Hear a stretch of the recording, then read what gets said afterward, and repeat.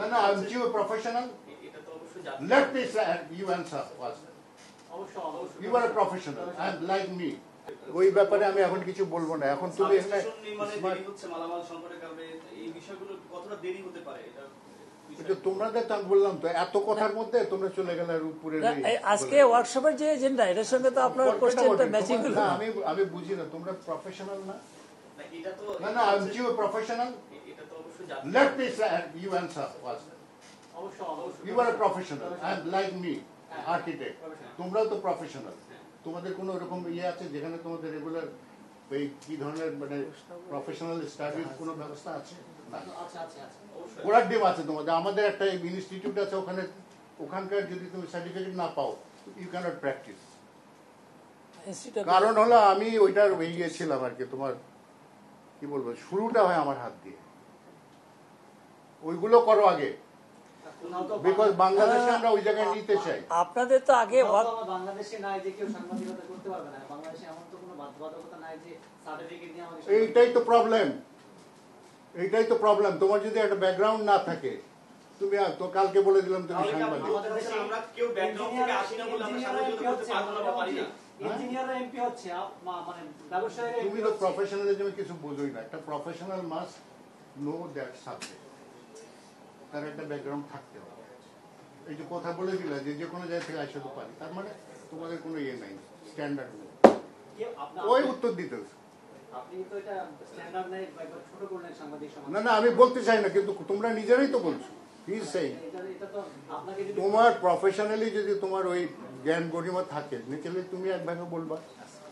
আর তোমার যদি ওইটা না থাকে একভাবে বলবা। তারপর তুমি বলছো যে আমরা আসতে পারি আচ্ছা আপনাদের শুরুটা তো এনিওয়ে ভাই তোমার ওই কথা আমি যেতে চাই না। একদিন আইসো। ঠিক আছে? একদিন আইসো। তোমাদের বসের বর্ষাদের সাথে কথা হয় তো? ওদের সাথে কথা বলব। তোমাদের সাথে বলে লাভ। তাহলে আচ্ছা এটা বাদে দাও এই সাবজেক্ট আর কোনো কথা বলো I am not going to সচিবালয়- না না আমি ওই জন্য বলছি তোমরা এই সাবজেক্টের উপরে ধরো না কেন এটা বাদ দিয়ে তুমি চলে গেলে ওই অন্য জায়গায়। আমি দ্যাট ইজ হোয়াট আই মানে প্রথমেই গিয়ে আপনার তুমি এখানে আসছো কি জন্য? তুমি কি দুপুরের ব্যাপারে কথা বলতে আসছো? আপনি- আপনি- আমরা- আপনি যদি এখানে সারাদিন আপনার অফিসিয়াল অফিসিয়াল যেগুলো বলছেন ডেফিনেটলি আপনার মিনিস্ট্রির জন্য বলছেন বাংলাদেশের জন্য নট অ্যাট অল এটা এখান থেকে তোমার ইয়ে করে প্রশ্ন বাইর করতে হবে এখান থেকে উত্তর দিয়ে দেবে এই জিনিসের উপরে। সেটা হলে সেটা হলে তুমি প্রপার জিনিসটা করবে পিএমের আমি আপনাদের বাপের দাবি করছি না জাস্ট জানা যায় পিএমের সব কথা কি প্রতিদিন হেডলাইন হয়? পিএম এর? পিএম যতগুলো কথা বলে বক্তৃতা চল্লিশ মিনিট বক্তব্য আহ, এখানে পিএম এর কথা আচ্ছা তোমার সাথে আমি ইয়ে করছি না কারণ তোমাদের প্রফেশন তোমরা প্রফেশনের মধ্যেই নাই। সবাই সবাই এখানে আসতে পারে।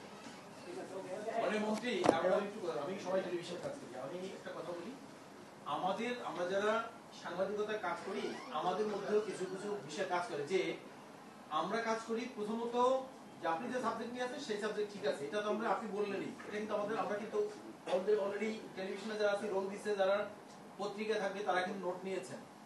কিন্তু আমাদের মাথায় থাকে যে জনগণের কি চাহিদা থাকতে পারে? আপনাকে আমরা এই সচিবালয় বছরে হয়তো এই- এই যা- আমার মনে হয় যে গত আট নয় মাসে কোনো প্রোগ্রামে আমরা আসিনি। এই প্রথম আসলাম। তাও কি এগারোটা একটি প্রোগ্রামের কথা বলেছেন?